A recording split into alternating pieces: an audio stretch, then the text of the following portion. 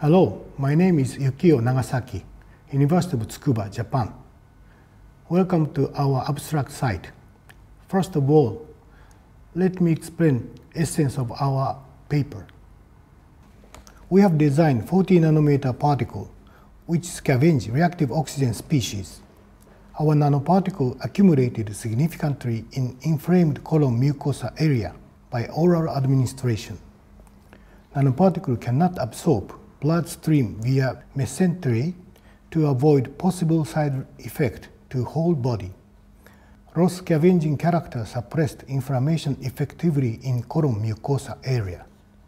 As you are well known, ulcerative colitis is a chronic and intractable inflammatory disease in colon area. Reactive oxygen species plays an important role to increase inflammation. However, low molecular weight antioxidant is not suitable for this treatment because it is absorbed in bloodstream via small intestine and cannot reach enough amount of in colon area. In order to improve effective efficiencies of therapeutic effect for ulcerative colitis, we have to improve delivery efficiency of antioxidant for ROS scavenging activity. Let me show you accumulation tendency of our nanoparticle in colon mucosa area.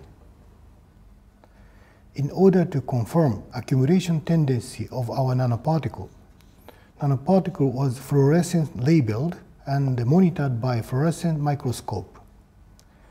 As you can see here, almost no fluorescence was observed when low molecular weight dye was orally administered. On the contrary, strong fluorescence was observed in colon mucosa area when nanoparticle was administered orally. Quantitative accumulation tendency in colon mucosa was analyzed by an electron spin resonance. Low molecular weight TEMPOL, which is one of ESR probe, shows almost no intensity due to the uptake in bloodstream. When polystyrene nanoparticle and microparticle were administered orally, size-dependent accumulation was observed. Namely, polystyrene nanoparticle possessing 40 nanometer showed highest accumulation among polystyrene particles tested here. Interestingly, when RNP was administered orally to mice, considerable high accumulation of RNP in colon was observed as compared to polystyrene particles, even though they are same size. The reason is shown in the paper. This is drug uptake to bloodstream as a function of time low molecular weight TEMPOL was absorbed in bloodstream, especially colitis mice. On the contrary, no uptake was observed for our nanoparticle administration.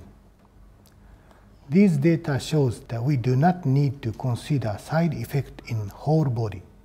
Let me move to the therapeutic effect of our nanoparticle for ulcerative colitis mice. We carried out two different experiments one is protective effect and the other is therapeutic effect.